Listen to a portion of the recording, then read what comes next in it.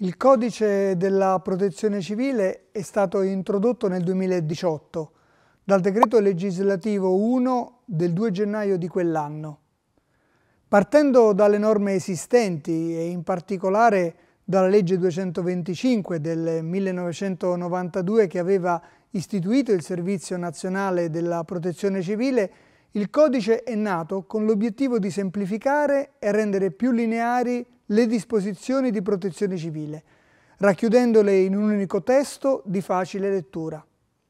Tra i vari aspetti, diciamo così, di novità che possono interessare qui maggiormente, il codice sottolinea la centralità delle attività di formazione e di informazione, prevedendole esplicitamente tra le attività di prevenzione non strutturale di protezione civile. Sono le attività svolte in emergenza a richiamare generalmente una maggiore attenzione dell'opinione pubblica verso la protezione civile e sono di certo le attività di previsione e prevenzione a poter fare la differenza, soprattutto quando parliamo di vite umane, di preservare l'ambiente in cui viviamo, così come i nostri beni. Ecco, la gestione dell'emergenza la preparazione per fare il massimo in quei momenti è di certo fondamentale, ma in una società come la nostra purtroppo spesso non cogliamo quanto si possa fare nel cosiddetto tempo di pace per gestare le basi per tutelare la vita. Abbiamo detto quindi previsione e prevenzione.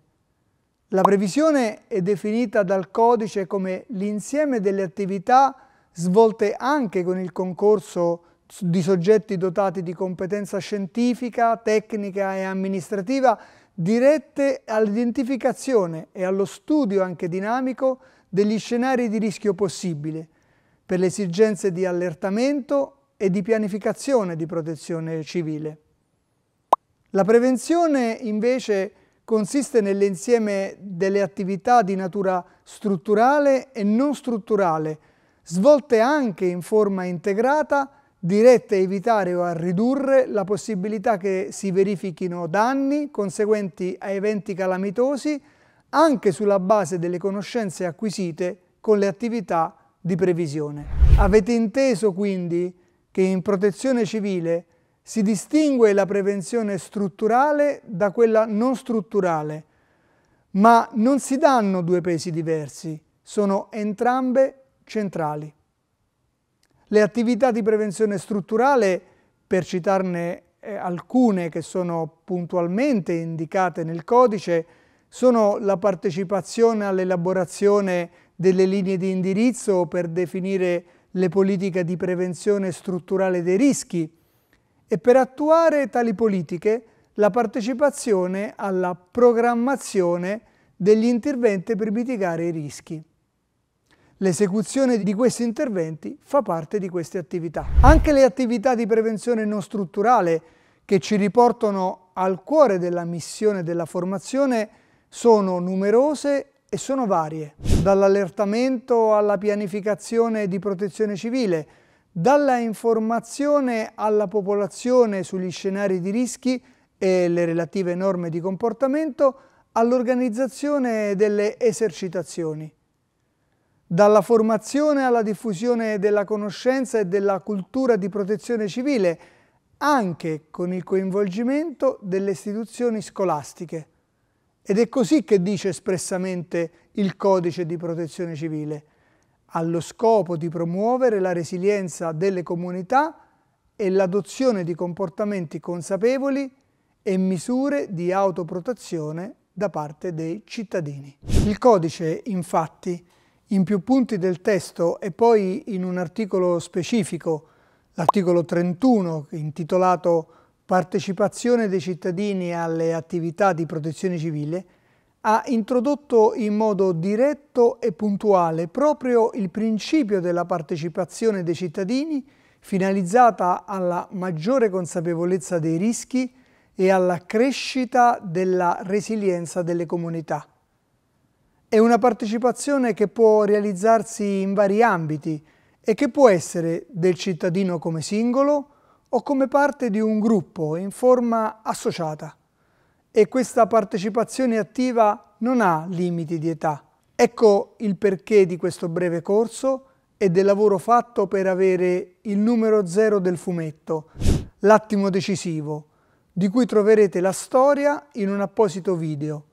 fatto per avvicinare ragazze e ragazzi a conoscere i rischi e renderli consapevoli del fatto che ognuno di loro può davvero fare la differenza con le azioni, anche quelle quotidiane. E per avviare un percorso che possa fornire a voi docenti elementi informativi, indicazioni, materiali di approfondimento in merito ai principali rischi naturali e antropici a cui è esposto il nostro Paese alle attività di protezione civile per concorrere a costruire comunità attivamente consapevoli, vorremmo e dovremmo riuscire a contestualizzare sempre meglio anche le buone pratiche, strutturali e non strutturali, per prevenire il rischio di disastri o per affrontare le situazioni di emergenza che dovessero verificarsi. Perché uno stesso evento, come un terremoto della stessa forza, può avere effetti notevolmente diversi da una regione a un'altra, tra territori all'interno della stessa regione e lo abbiamo visto direttamente anche tra zone o edifici all'interno dello stesso comune. Queste mini lezioni sono state realizzate con il contributo di colleghi del Dipartimento della Protezione Civile e di alcuni centri di competenza del Servizio Nazionale della Protezione Civile che forniscono servizi, informazioni, dati, elaborazioni e contributi tecnico-scientifici in specifici ambiti. In queste brevi lezioni potrete quindi trovare elementi e spunti in riferimento a quattro principali rischi che caratterizzano il nostro Paese e con i quali si troveranno a che fare anche i personaggi del fumetto. Terremoto, maremoto, alluvione e incendi boschivi. Ma sono anche altri i rischi che caratterizzano l'Italia. Pensiamo al rischio vulcanico e sono rischi che possono presentarsi anche insieme, portandoci a parlare, ragionare e pianificare in un'ottica di multirischio. L'Italia infatti è tra i paesi più esposti ai rischi naturali e legati alle attività dell'uomo. È questo che ha reso necessario un sistema che assicuri in ogni area la presenza di risorse in grado di intervenire in tempi brevi e in maniera coordinata in un'emergenza, ma anche di operare per prevenire e per quanto possibile prevedere eventuali disastri. Per questo motivo in Italia la protezione civile non è un compito assegnato ad un singolo ente, ma una funzione attribuita a un sistema che è integrato ed è il Sistema Nazionale della Protezione Civile ed è composto da strutture pubbliche e private, centrali e territoriali. All'interno del sistema le competenze nelle attività di previsione, prevenzione, soccorso e superamento delle situazioni di emergenza sono affidati a più enti e strutture operative perché la complessità del panorama nazionale dei rischi richiede l'impiego coordinato di tutte le professionalità e le risorse a disposizione del Paese. E perché nel titolo quinto della Costituzione, così come è stato riformato nel 2001, la protezione civile è elencata tra le materie a legislazione concorrente, per cui, salvo che per la determinazione dei principi fondamentali, il potere legislativo spetta ai governi regionali. Ogni regione infatti si è organizzata con un proprio sistema di protezione civile. Se elenchiamo le componenti e le strutture operative del Servizio Nazionale di Protezione Civile, ci rendiamo conto che coinvolgono in concreto tutte le istituzioni.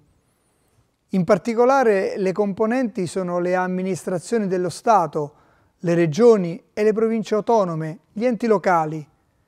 le strutture operative invece comprendono il Corpo Nazionale dei Vigili del Fuoco, le Forze Armate, le forze di polizia, l'Istituto Nazionale di Geofisica e Vulcanologia, il Consiglio Nazionale delle Ricerche, gli enti e gli istituti di ricerca di rilievo nazionale con finalità di protezione civile, le strutture del Servizio Sanitario Nazionale, il volontariato organizzato di protezione civile, l'Associazione della Croce Rossa Italiana, il Corpo Nazionale del Soccorso Alpino e Speleologico, il Sistema Nazionale per la Protezione dell'Ambiente, le strutture preposte alla gestione dei servizi meteorologici a livello nazionale. Il codice poi indica gli ordini e i collegi professionali come gli ingegneri, i geologi, ma anche i giornalisti, enti, istituti, agenzie nazionali, aziende, società e altre organizzazioni pubbliche o private che svolgono funzioni di protezione civile, che sono quindi impegnate nelle attività che rientrano nella previsione o nella prevenzione dei rischi, nella gestione dell'emergenza o nel superamento di questa fase. Questi sono soggetti che concorrono alle attività di protezione civile. Come vedete quindi davvero l'intero Paese con il fulcro nel ruolo del cittadino consapevole, del cittadino informato, del cittadino preparato, del cittadino parte attiva del sistema. La protezione civile dei nostri anni e quindi è il risultato di una storia che ha radici lontane e che va di pari passo con quella del Paese. È stata l'esperienza maturata nella gestione delle emergenze a rendere chiaro nel tempo che per un'efficace azione di tutela della vita e dell'ambiente sono necessari il coordinamento di tutte le forze in campo. È un impegno che non è solo centrato sulla fase dell'intervento.